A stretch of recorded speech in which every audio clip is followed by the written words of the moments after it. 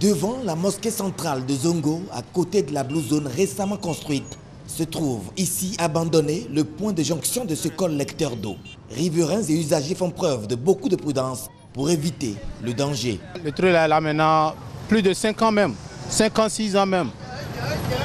On a même fabriqué des planches, on a fait des tôles pour fermer. Pourtant, quand les grands porteurs passent sur ça, les camions passent sur ça, ça tombe dedans.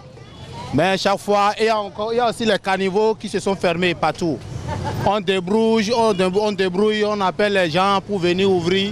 Nos délégués du quartier, on les appelle des fois pour venir voir. Même nos CA, on les appelle de venir voir, ils disent ah, ils ont lancé des commandes pour venir fermer ça. Bon, pourtant, ils ne viennent pas. Ça blesse les gens, c'est très dangereux. Il y a des motos qui rentrent dedans, il y a des gens même qui se cassent de pied, même des fois. Donc c'est très grave pour nous ici. Donc c'est ce qu'on veut que la mairie vienne nous fasse.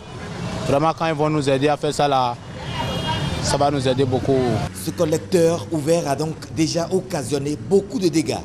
De plus, les appels des populations riveraines à l'endroit des autorités sont jusque-là restés lettres mortes.